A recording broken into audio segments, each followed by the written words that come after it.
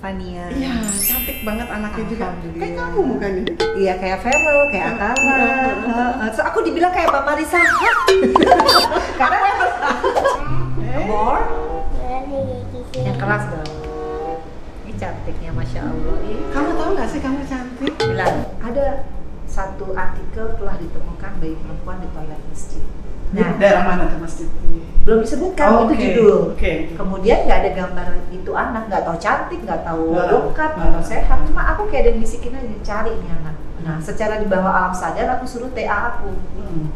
Kamu cari nih linknya nih beritanya. Hmm. Ibu mau ngapain? Ya pokoknya cari aja karena dia bisikin kan. Dan aku Hmm. pasti itu Allah lah yang memberikan aku petunjuk. Hmm. Setelah dapat dia bilang bu ini anak prematur dan Hmm. anak ini ditelantarkan